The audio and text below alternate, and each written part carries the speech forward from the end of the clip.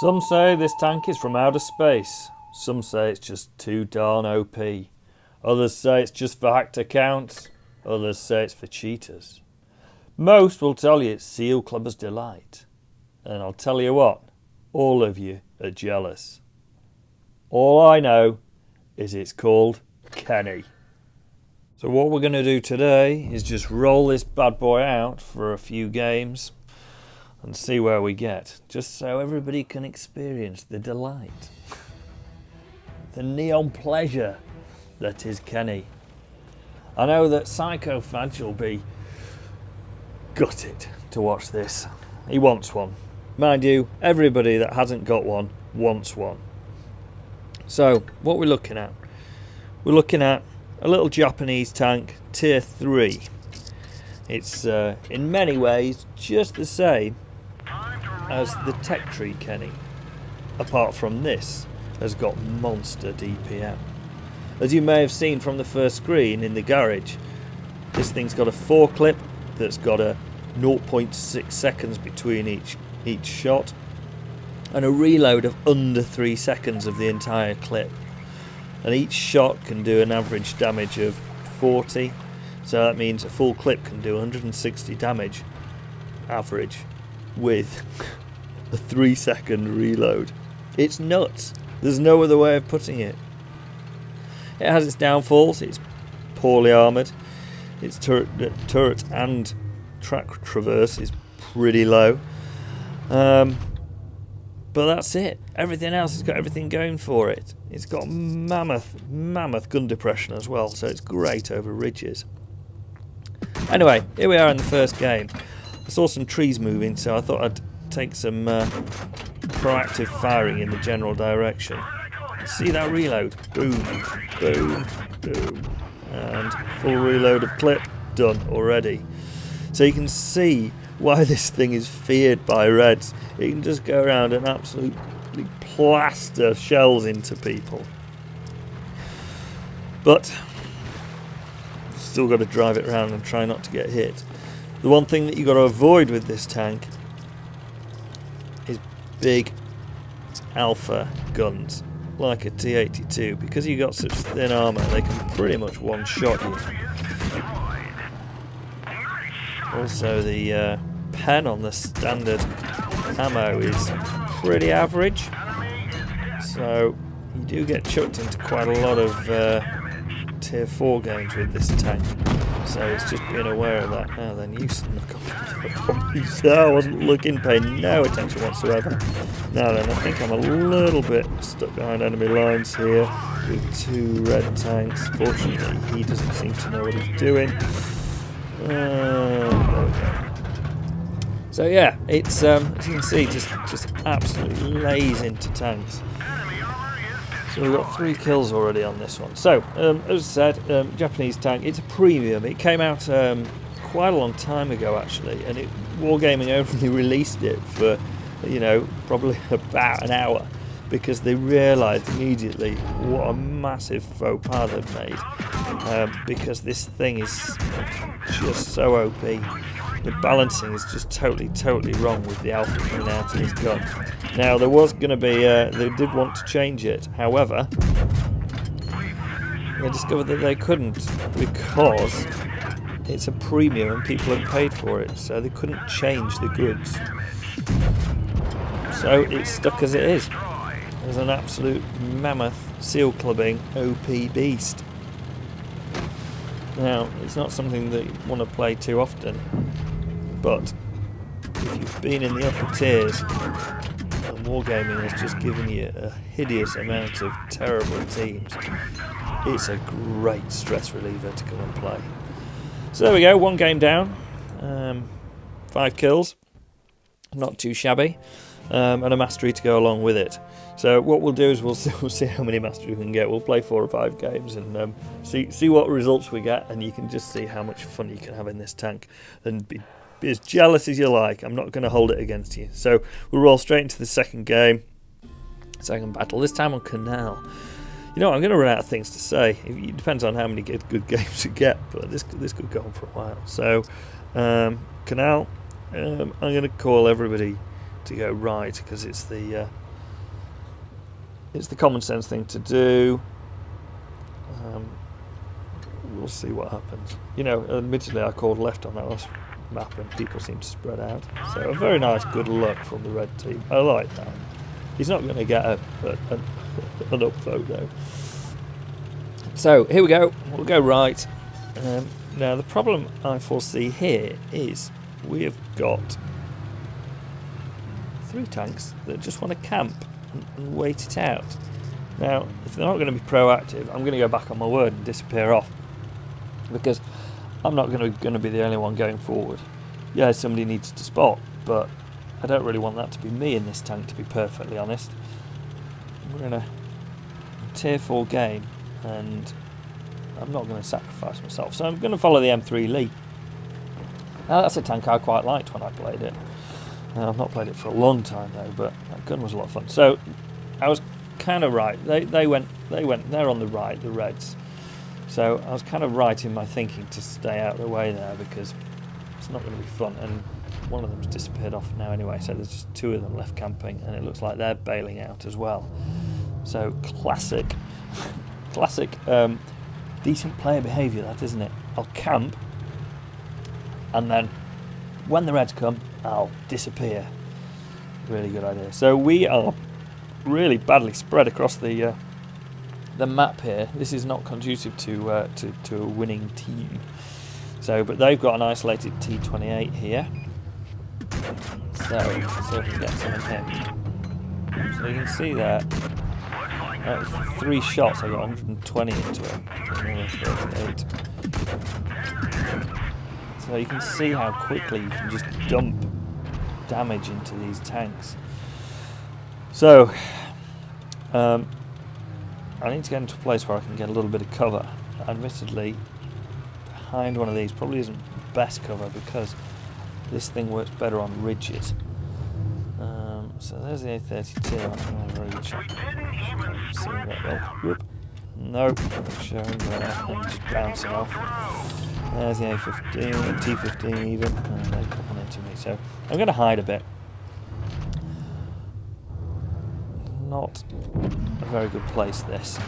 So that T15 is pushed quite far forward. So what I'll do is I'll try and get around here. Now I can stay up high here because I've got such good gun depression. See, I can just get up here, spot him, and boom, he's out of there you know, unload three of the clip really quickly. So I've got so quick reload. Straight back into him, although somebody beat me to all that nice juicy damage. But the best red is a dead red, so I don't really care who gets the kill. So long as they're killed, that's fine by me. You can see that can out DPM everybody. So that's T15's got an average damage of 41 per shot and a reload of probably three or four seconds per shot. I, I can dispense of a clip of four in in two seconds, just uh, and then reload in the time it takes for his gun to reload. So you can see there, I'm happy to go in at this point because there's no way he's going to beat me. And we're already quite a way ahead, so I'm not too worried about taking on a little bit of damage because the rest of the team are. Now I've changed to premium ammo here, that A32 is a bit of a, a harder tank. Now he's not paying me any attention whatsoever, which is great. And bye bye. So as you can see, just you know, this this level, you've got, you've got such a variance of quality of players that a lot of them just sit there and you can just pump the damage into them and they're paying you no attention.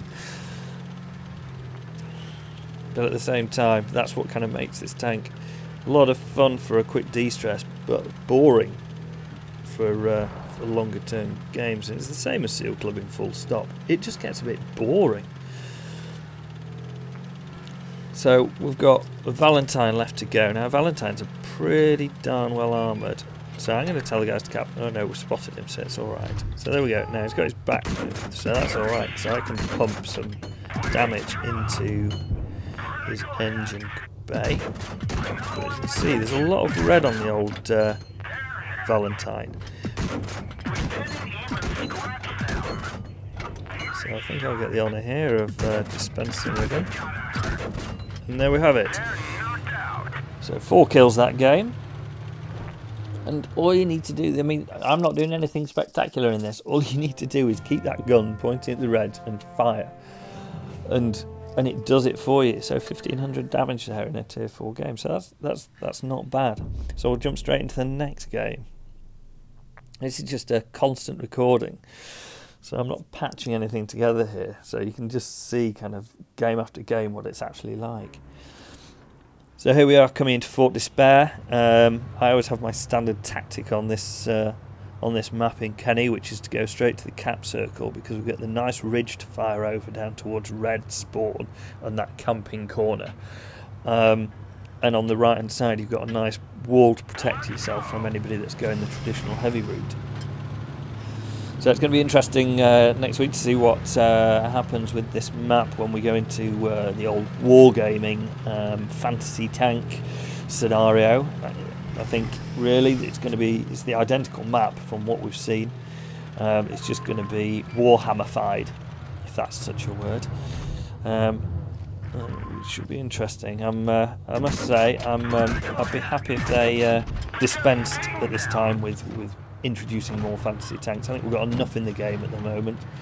I am guilty of having quite a lot of the fantasy tanks that have been available, um, more through my um, greed of wanting to just own every tank that's available and have play different tanks and check out all the different game styles.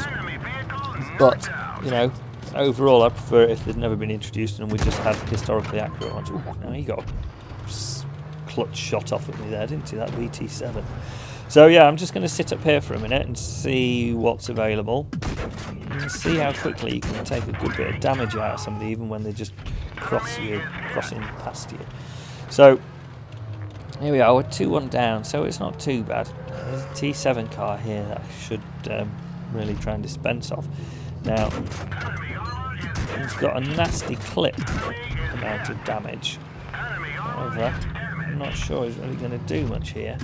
not concentrating on me, so that gives me the opportunity in two clips to actually finish him off, which is kind of, I don't know, seven seconds. So, get this 3Z3 on fire, quick reload, he's got no chance. So you can see from this cap circle zone, you can really start to control the, the, the battle um, especially in the Kenny. Now, see on the move, dispersion, gun dispersion is pretty terrible. There we go, sneak up behind him. He's got no chance. So at one point I was getting a bit worried about this game, but now we're back to uh, a reasonable game. Um, two versus one. So, who? I've loaded AP because I just want rid of him. I think he's actually a reasonable player as well, so um, he seems to have been darting around and doing a good bit of damage, so I'm just going to keep my eye on him and our other tank isn't exactly the strongest tank, so get one in there. And then what I'll do is I'll quickly reload. The reload on this is so fast that if you just take one out of the clip, clip shot. Um, that you can you can afford to reload to get full top that clip back up again, get a nice fresh clip as opposed to having to panic about anything else. So there he is, he's dead, uh, and uh, that's pretty good. And uh, what what the from the uh, BT7, which is all good. So yeah, there we go, another mastery. Um, is that the second game? Yeah, I think that's the second game, isn't it? So uh, that's two games in. Um, so that was that BT7, pretty good player um, on a re-roll account by the looks of things. Um, so obviously just a bit gutted. So we'll jump straight into uh, next match. Press battle again. Mm, let's see what we're going to get this time. So we're a bottom tier tank here. Um, okay. This is where penetration values start to come in because the standard ammo doesn't have great penetration, especially when you're facing tier 4s. So you've either got to try and get around them or just uh, load out with um, a lot of premium ammo. So as you can see from my loadout, hardly any HE, but I do carry 50% standard ammo, 50% premium ammo. In some games I'll use all of that ammo and end up just on uh, standard ammo. Sometimes I'll use all my standard ammo and be forced to use premium when I don't want to. It's just the look of the draw, but you do need it on this tank, I think. So I'll load load up with premium ammo to start with. Um, you never know who you're going to meet first, especially in a tier 4 match. So I'd rather get the first kick in and get the first shot in. Um, that's actually going to do some damage rather than facing something that's just going to bounce on. And my first shot misses. So, you know, can't win them all, can you? So it looks like Reds are amassing to push into caves, so I'm going to remove myself from that because I am too lightly armoured to really uh, participate in that. And I'm going to come down here and get this. You can see how quickly can just throw that damage out. Which is what's we like. So it looks like the tier 3s are the ones doing all the damage at the moment. We've got one tier 3's got two kills. Let's throw some into this looks make him think about things before I duck away into cover again. Right, in the best place to cover. So yeah, my, my thought process here is basically just to um, do a little bit of flanking because the AMX has headed up to the caves and uh, nobody likes uh, a duck, the AMX 40. Um, far too OP. well, their armour is anyway at the tier. So, let's get down here. That M5 was coming down. Can ignore him now. Gone.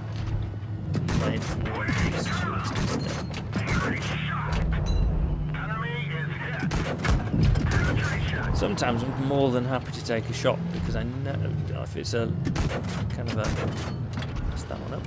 If it's a low um, alpha gun that's on Rex, I know that I can do so much more damage. It's not a classic hit point trading. Just putting loads of shots into them and you just wipe them out. So there we go. Um, we're down to see, see that's even with premium ammo.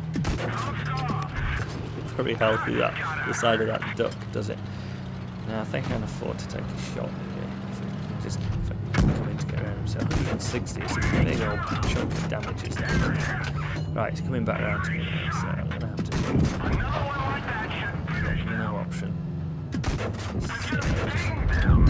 There. And there we go. Team comes in for the kill. So another good little game. You just it is it, you know I'm not doing anything special in these games. Another mastery. Um, not doing anything special in these games. All you need to do in this tank is try and avoid taking damage, but keep the gun singing away. That's all it is, and it just makes it such a joy. And it is, you know, I've got to say, it is totally OP. This tank. It's ridiculously overpowered for its tier. But that's what makes it so much fun. And on the flip side, you know, you do have games that you get totally caught out, especially in tier 4 games. If you accidentally meet a Hetzer, uh, going the opposite way, boom, you're pretty much gone. Anything, anything, you know, even Marder 2s can, can pretty much wreck you if they get a shot into you. So, you know, it's just a little bit of, a little bit of caution. City for the noobs. Dutch Delight. It's funny because I much prefer going City on this map. a noob? Mm, turns out I am. Thanks Dutch Delight for pointing that out. Anyway, here we are. I'm going to sit on this hill. I don't know why I'm sitting on this hill. This is just a ridiculous place to be. So I'm just going to move. Uh, there doesn't seem to be any reds at this point. Oh, an A20. So I've got to be a bit careful because that, if it's got the autoloader, that gun is amazing. That's another good SEAL Clubbers tank is the A20. So I'm a bit stuck here now. I, have made a bit of a stupid mistake. Stupid mistake. So I'm just going to sit here and then I'm going to try and come around a little bit to do some damage because I was a little bit sandwiched between the A20 and these guys. So, I've got the autoloader on that. Right, if I can... If I can, yes. We've got him tracked. Now then, tracked on an angle like that, he is next to useless. So I quite like that. Tracked him again. If you can you can perma track tanks in with this with this tank because the, the rapidity is that a word? Rapidity of the firing on this thing is just obscene. So, you know, even if they detrack themselves, you just lay another one straight into it, and then they've run out of um, toolboxes to, to fix that track, and you just keep them there. And if you can get them on an angle where they can't even get a shot into you, you know, that's even better. Now, there was a BT-7 down here, so I'm just going to throw some ammo its way.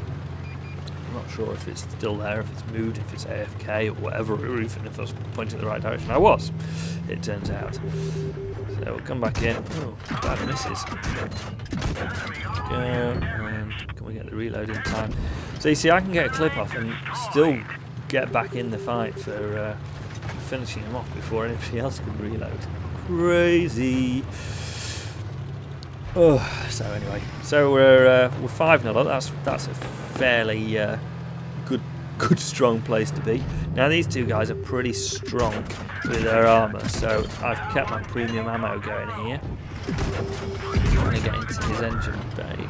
Somebody else managed to get the fire, and somebody else managed to finish him. So, come down. What we're going to do with this AMX? It's facing this way. Right, I'm just going to go in and take a shot. I think.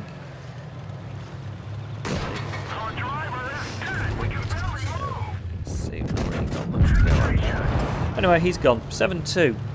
So, a good outing. Four kills again. So, more than happy with that. Yes, just the end of the game. I suddenly had a panic that there must be another red hanging around somewhere. So there we go. Um, another mastery. Uh, 1100 damage. Nice and consistent. So uh, that's it. Thanks for watching.